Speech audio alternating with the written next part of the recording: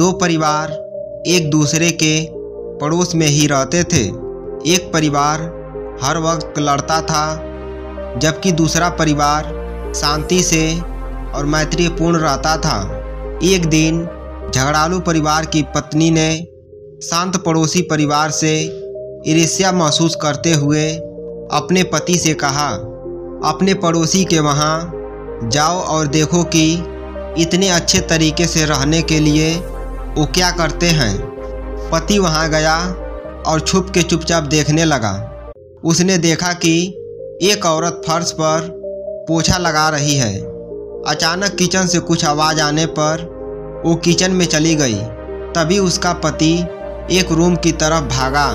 उसका ध्यान नहीं रहने के कारण फर्श पर रखी बाल्टी से ठोकर लगने के कारण बाल्टी का सारा पानी फर्श पर फैल गया।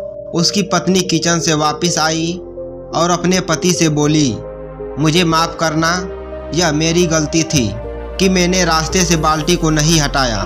पति ने जवाब दिया, नहीं, मुझे माफ़ करो, क्योंकि मैंने इस पर ध्यान नहीं दिया। झगड़ालू परिवार का पति, जो छुपा हुआ था, वापस घर लौट आया। तो उसकी पत्नी ने पड़ोसी की खुशहाली का राज पूछा। पति ने जवाब दिया, उनमें और हम में बस यही अंतर है कि हम हमेशा खुद सही होने की कोशिश करते हैं। एक दूसरे को गलती के लिए जिम्मेदार ठहराते हैं, जबकि वो हर चीज़ के लिए खुद जिम्मेदार बनते हैं और अपनी गलती मानने के लिए तैयार रहते हैं। दोस्तों, एक खुशहाल और शांतिपूर्ण रिलेशन के लिए ज़रूरी है कि हम अपने अहंकार को साइड में रखें और अपने स्वयं के हिस्से के लिए व्यक्तिगत ज़िम्मेदारी को ध्यान में रखें। एक दूसरे को दोषी ठहराने से दोनों का नुकसान होता है और अपने रिलेशन भी खराब हो जाते हैं। दोस्तों, अगर आप यहाँ तक यह वीडियो देखते हुए आ गए हैं तो अगर वीडियो से आपको थोड़ी भी नॉलेज मिली है तो वीडियो को ज़रूर लाइक करें। Thanks for watching this video जय हिंद दोस्तों।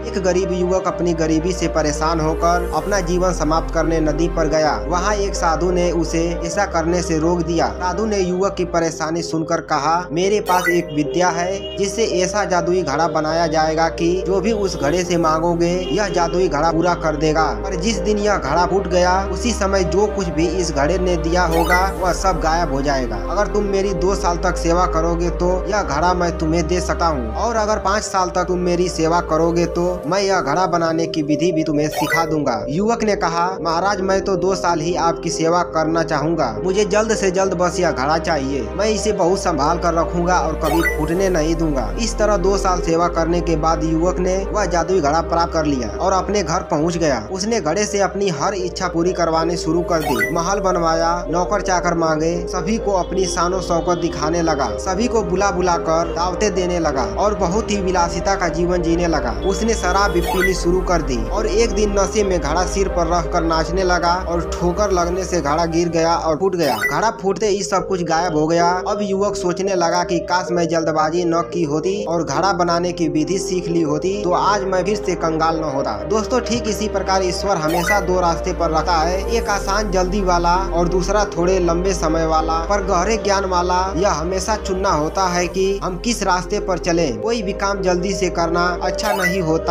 बल्कि उसके विषय में गहरा ज्ञान आपको अनुभवी बनाता है। दोस्तों, अगर इस वीडियो से आपको थोड़ा भी ज्ञान मिला है तो वीडियो को ज़रूर लाइक करें। Thanks for watching this video. जय हिंद दोस्तों। फिर मिलते हैं अगले वीडियो में।